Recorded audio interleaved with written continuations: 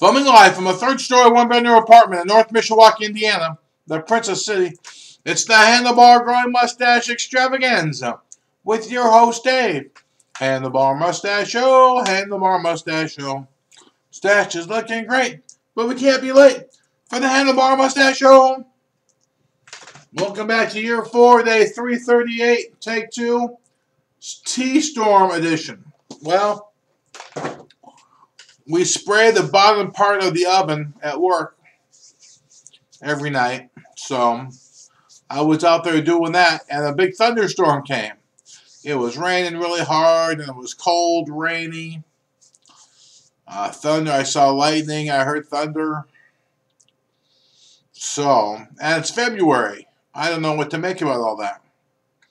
So, I'm glad it wasn't snow, but we shouldn't be having thunderstorms in February. Something's all cattywampus. So, anyway, I watched one of my shows, Around the Horn, and then the Muppets came back this week too. So, I quick taped the show so I can take off this wet shirt and then watch the Muppets and go to bed. So, pretty straightforward tonight. I probably said too much. Knock on wood. Keep it classy, in interweb. And until I see you manana, I bid you all a arrivederci and adieu. Oh, that was nice.